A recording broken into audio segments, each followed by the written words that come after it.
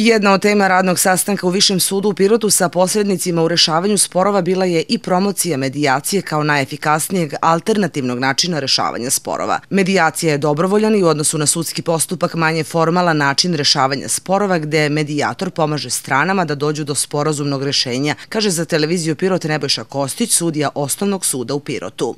Medijacija, odnosno posredništvo, je regulisano zakonom posredništva iz 2015. godine koje je poslednji u nizu donetih tih zakona.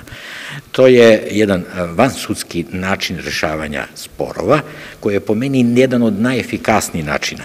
U drugim zemljama se na ovakav način rešavaju preko 90% slučajeva koji se odnose na takozvane medijabilne predmete, predmete koji su, koje je moguće rešiti na ovaj način. Reč je o jednom dobrovoljnom načinu rešavanja sporova, gde stranke u sporu, strane u sporu, su ti koji odlučuju, koji rešavaju ovaj spor. Medijator je lice koje pomaže stranama u sporu da ovaj spor reše.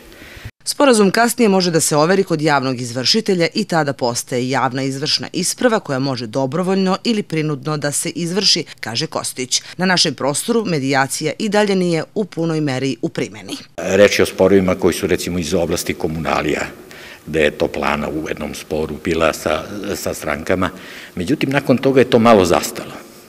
Mi ovim, ovom prilikom hoćemo da to malo pospešimo, da ljude informišamo o tome da na ovaj način ne samo da reše spor efikasno, e, ekonomično, nego je dosta i jeftinije.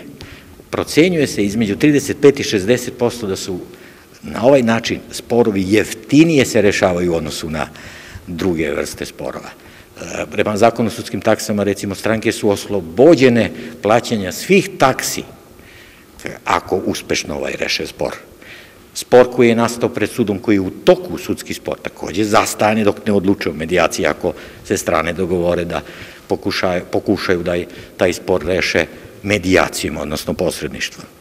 Na teritoriji Pirotskog okruga rade 22 medijatora. Reč je o osobama koje su registrovane za ovu delatnost, posebno su obučeni za ovaj posao i nalaze se na spisku medijatora Ministarstva pravde. Medijatori ne moraju, kaže Kostić, da budu stručnjaci iz pravne oblasti, već i osobe drugih profesija, sociolozi, ekonomisti, inženjeri. Sporovi koji mogu da se reše medijacijom su građanski, porodični, upravni, krivični postupci, ali i privredni, radni, komunalni, medijski i sporovi iz oblasti diskriminacije.